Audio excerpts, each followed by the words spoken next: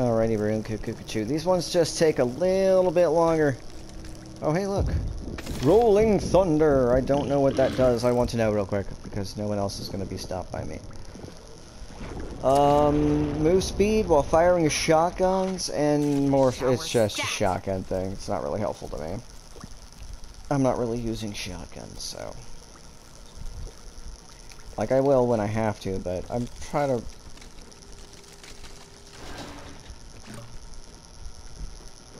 We're all alive, so going to count that as a win. Win frickin' win, baby. Oh, well I guess... Oh, okay. Seems like they've taken out the, uh, obligatory free health care for all in, uh, these safe rooms, though. Fuck you! This is our safe place, dude. You do not come into here. Alright, everybody get inside. Alright, get out get out of the way. Like I think we're good. Alright. And I'm pretty sure we didn't set off the birds. Nobody set us up the bomb.